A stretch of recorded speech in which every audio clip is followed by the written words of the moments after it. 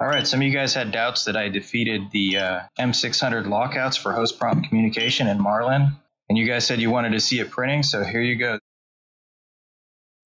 Okay, we're going to do two test prints. The first one is going to be without Octoprint coming through the TFT, and we'll be testing the M600 operation through the TFT along with the filament runout through the TFT. Then we'll do the same thing through Octoprint, where we test the filament runout sensor and also the M600 call for the filament color change. As the video progresses, I'll explain the details of my approach. For those of you not familiar with the project that I've been working on, this is a way to run M600 filament changes and retain use of the filament runout sensor on both the TFT for printing and through Octoprint. And the reason this is challenging is because the stock TFT is not Marlin mode capable, and Marlin is not natively enabled to be able to do this.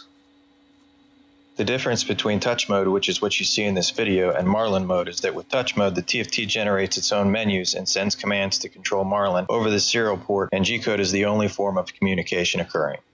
Whereas in Marlin mode, the LCD in which menu items are displayed is controlled by Marlin, and the LCD is equipped with an encoder that sends your menu selections to Marlin over dedicated wires that won't interrupt anything happening over the serial port.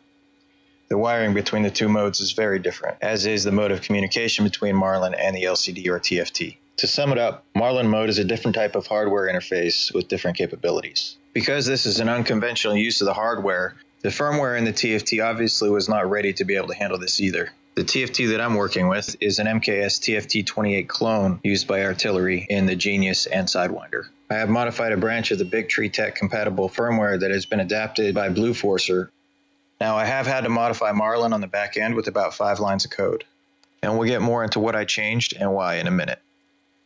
I've made some changes that allow the TFT firmware to know when Octoprint is running.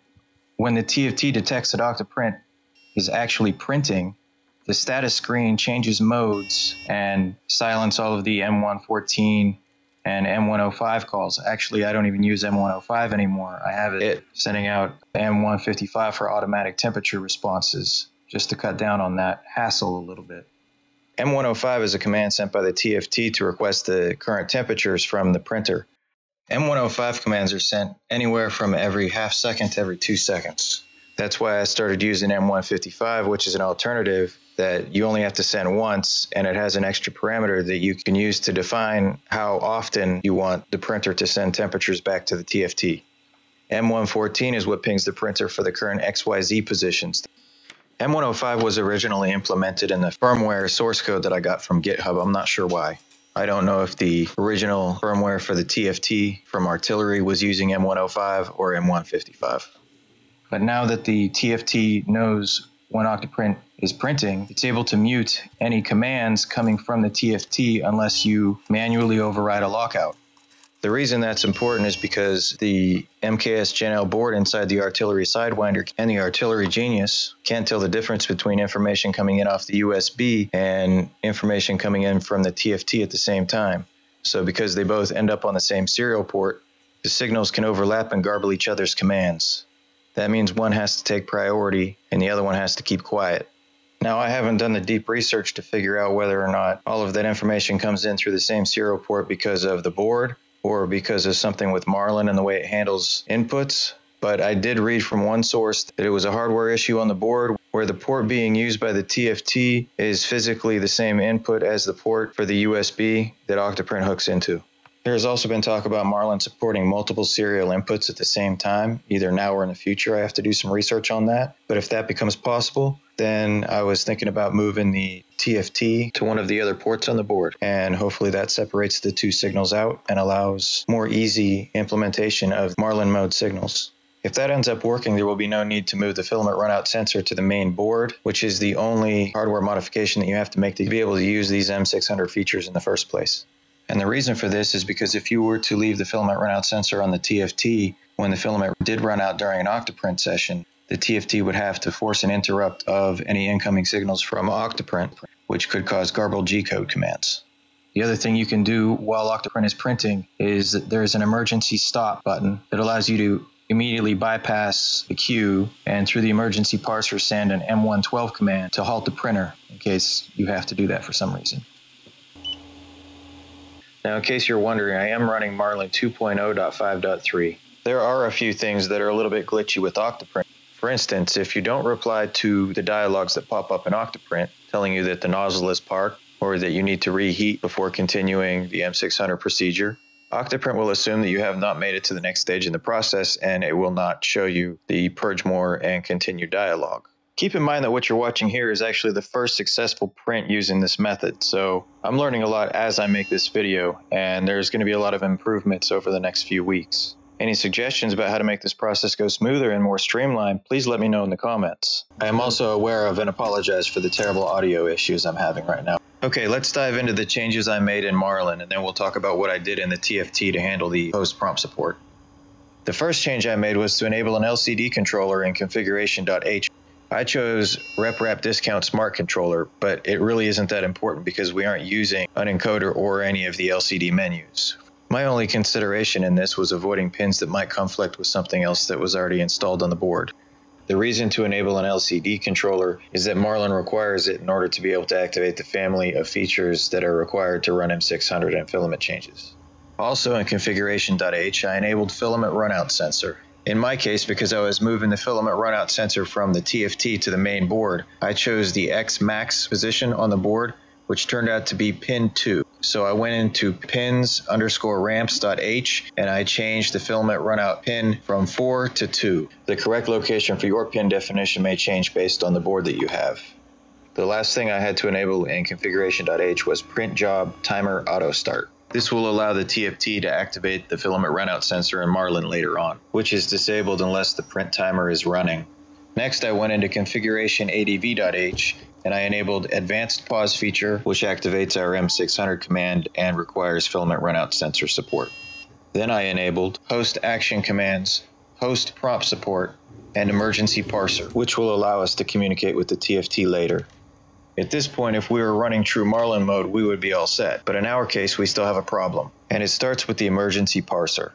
The reason we had to enable emergency parser was to force commands like M876 and M108 to the front of the queue to be able to respond to M600 dialogues, which we are not meant to be able to do without an LCD encoder.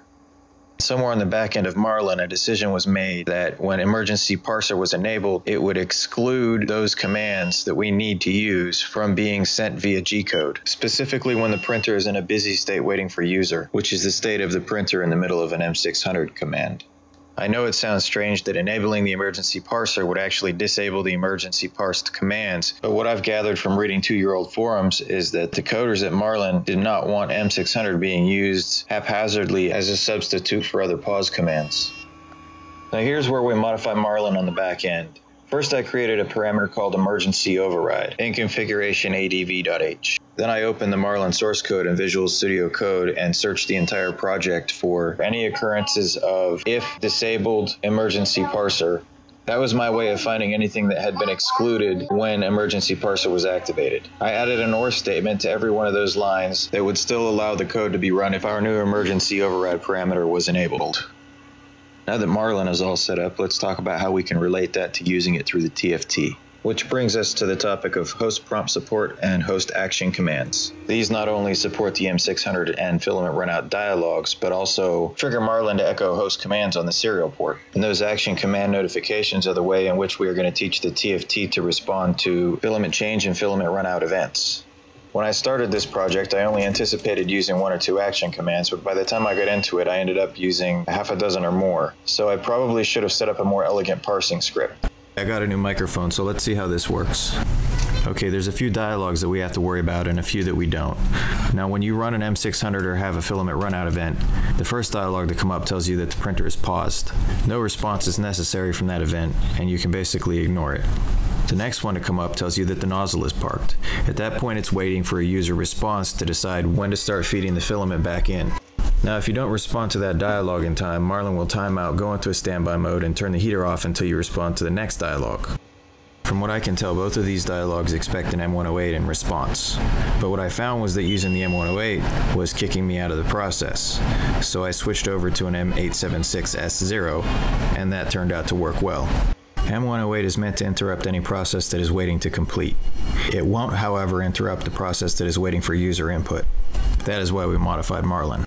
And we run into the same problem with M876. M876 is something of a private command in Marlin. You will not find it in the documentation online. Octoprint does have some support for it, so there is some documentation that you can find there, and I'll link that in the description. It also gives a pretty good overview of how host prompt support works, and I kind of wish I would have found this resource in the beginning of the project instead of now while I'm recording this. Action command prompts are nothing more than Marlin sending text parameters for dialog over the serial port.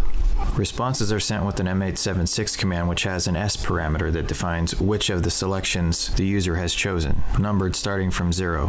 For example, a dialog with two buttons would have two choices, M876S0 and M876S1, which is the case that we run into with the purge more and continue dialog with M600 support. In this case, S0 is purge more and S1 is continue. The syntax is very simple. Two forward slashes, the word action, a colon, and then one of four action choices. Prompt begin, which initiates a new dialog with the text to display to the user. Prompt choice, which has the text to display in the first button. If there is more than one button, there will be more than one prompt choice. Prompt choice can also be known as prompt button. The third command is prompt show, which tells Octoprint that the dialog is now fully defined and to prompt the user. The last command is prompt end, which designates that the dialog has been fulfilled. What I did to get the TFT to work with M600 is parse out the prompt choices that were unique to the dialogues that I was looking for and prompt the user accordingly. The last problem that I ran into was that the filament runout sensor was not working when I was printing from the TFT. It turns out that when you're running a filament runout sensor through Marlin, it doesn't start monitoring the sensor until the print timer has started, which is why we enabled print job timer auto start. What that does is allows the use of M75 to start the print timer and M77 to stop it. Therefore, therefore allowing us full functionality of the filament runout sensor even when printing through the TFT. So I took a very simple approach which works well for now, but I will probably improve that in the future. And that pretty much sums up how I did it. And if you have any ideas for future projects, let me know. I love challenges. Special thanks to the guys over at the Filament Forum for the endless hours of brainstorming and testing that they contributed. You should check out their forum, I'll link to it below. And keep your eye out for an article about this there soon.